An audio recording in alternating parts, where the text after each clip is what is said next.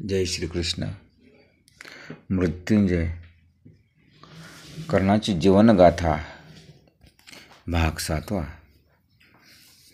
गुरुदेव द्रोणाने माझ्याकडे चुकूनही पाहिलं नाही.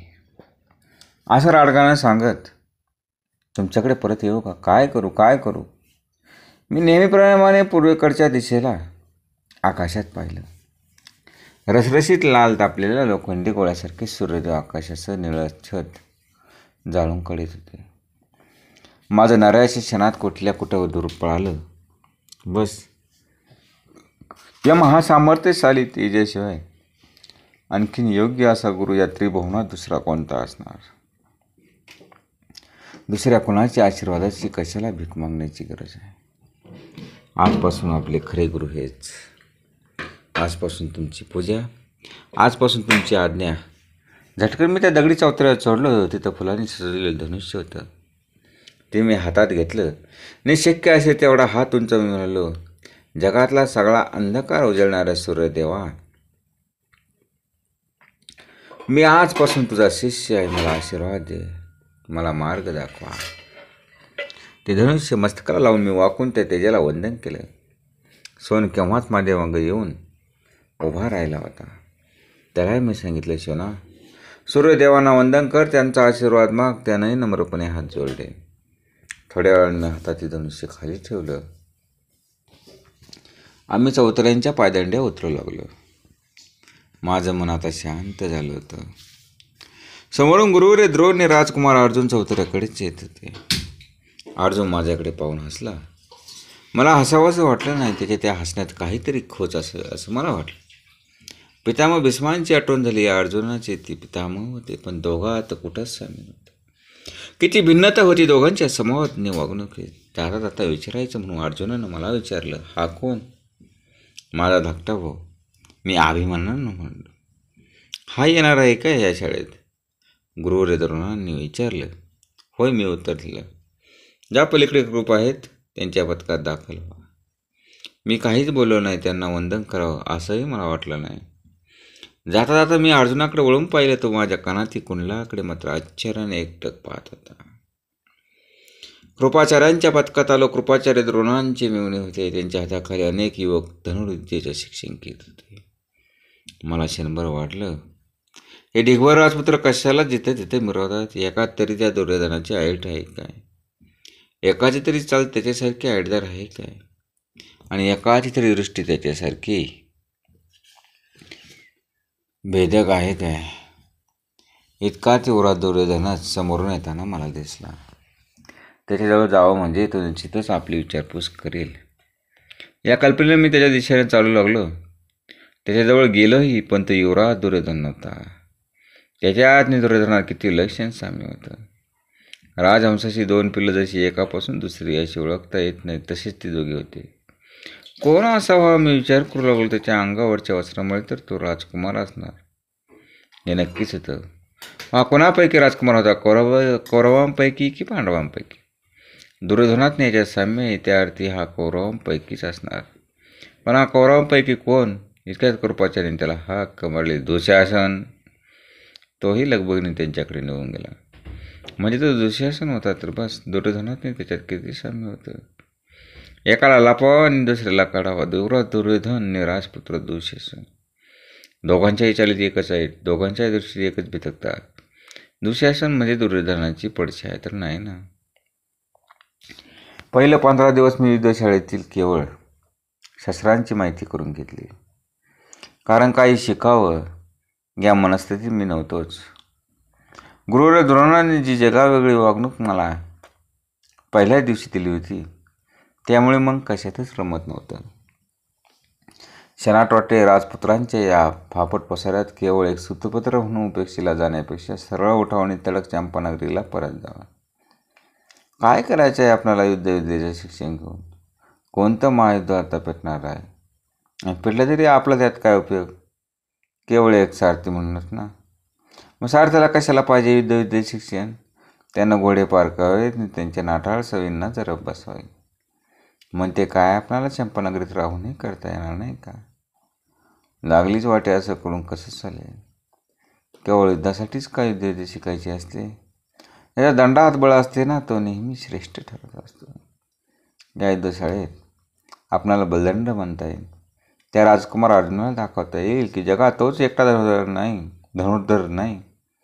पण त्यानं बिचारानं तरी काय केलं आहे? माझं कशाला त्याच्याशी स्पर्धा करायची? स्पर्धा ही नेहमीच माणसाला आंधळा करते. गुरुवर त्याच्यावर प्रेम करतात. हा काय त्याचा दोष आहे का? माझ्यासारखा तोही एक युवक आहे. आपल्या गुरुचा आपल्यावर प्रेम असावं असं कोणत्या शिष्याला वाटणार नाही? आणि कोणता गुरु शिष्याला नीट पारखल्याशिवाय इतका जवळ येईल घेईल का? असंच जर असेल तर गुरुदेव मीही तुमच्या कसोटीला उतरेन. केवळ एक धनुर्धर म्हणूनच तुम्ही त्या अर्जुनाला एवढं मानत असाल तर मीही त्याहून श्रेष्ठ धनुर्धर होईन. पण धनुर्धर धनुर्धर होऊन तरी त्याचा काय उपयोग? मला तुम्ही कधीच आपला मानणार नाही. माझ्या पाठीवरून तुमचा हा हात कधीच मायेनं फिरणार नाही. कारण मी स्वतपुत्र आहे अर्जुन क्षत्रियुक्त आहे. काय वैशिष्ट्य असतं एवढं क्षत्रिय कुलात? कशाला पाहिजे कुलाची कसोष्टी? पण असं तरी कसं म्हणता येईल? ज्या कुळात प्रोजाने आपल्या पराक्रमाने शत्रूचं निखंदन करून हे कुरुकुल आणि राज्य यांची कीर्ती वाढवली ते कुलश्रेष्ठ ठरणार. आपल्या कुळातील पूर्वजांनी पिढ्यानं पिढ्या घोड्यांचा खरारा केला आणि त्यांचे वेग आवरले. आपली आणि क्षत्रियांची तुलना कशी होणार? खरोखरच मी एखाद्या राजकुळात जन्माला असं असतं ते किती बरं झालं असतं. पण कसं शक्य होतं ते? वडाच्या झाडावर बसणाऱ्या कावळ्यानं राजवड्याच्या कळसावर बसणाऱ्या कपोताची स्वप्न कशाला रंगवावी? जाऊन द्या. जे बदलणं माणसाच्या हातात नसतं त्याचा त्यानं इतका विचार करू नये. आणि अपसमज करून एखाद्याबद्दल अनादर तर कधीच बाळगू नये. वास्तविक राजपुत्र अर्जुन गुरुवरायांचा एवढा लाडका होता याबद्दल फार तर त्याच्या भावांना काहीतरी वाटावं. मला त्यात खटकण्यासारखं असं काहीतरी का वाटावं? माझा आणि राजकुमार अर्जुनाचं असं काय नातं आहे? काहीच नाही मी एक सुतपुत्र आहे तो एक राजपुत्र आहे. त्याचा मार्ग वेगळा आणि माझा वेगळा. जीवनाच्या मार्गावरून चालणारे आम्ही दोन संपूर्णता वेगळे असे यात्रे करू आहोत. जा. राजकुमार अर्जुना असाच मोठा हो अजिंक्य धनुर्धर हो. कधीतरी प्रसंग पडल्यास सूत पुत्रकडून तुझ्या रथाचे घोडे आवरण्यासाठी सारथ्य करेन. मी मनात निर्धार करून टाकला की अर्जुन काय किंवा कोणीच काय मी कोणाबद्दलही मनात किंतू बाळगणार नाही. या इथल्या सगळ्या राजपुत्रांचे आणि माझे मार्ग भिन्न आहेत. जन्मानं ते ठरवले आहेत. केवळ खरी आवड म्हणून मात्र मी धनुर्विद्या शिकेन कारण मलाही वाटतं की नुसत्या आवाजाच्या रोखानं कुठंही बाण सोडावा. एकाच वेळी असंख्य बाण दाही दिशांना सोडावे. गुरु कोण आहे? याला काय महत्त्व शिष्याच्या अंगात विद्येबद्दल किती आत्मीयता आहे? याला खरं महत्त्व आहे. मी एक खडाचा शिष्य होईन. विद्येसाठी विद्या घेईन. मी निर्धार करून टाकला.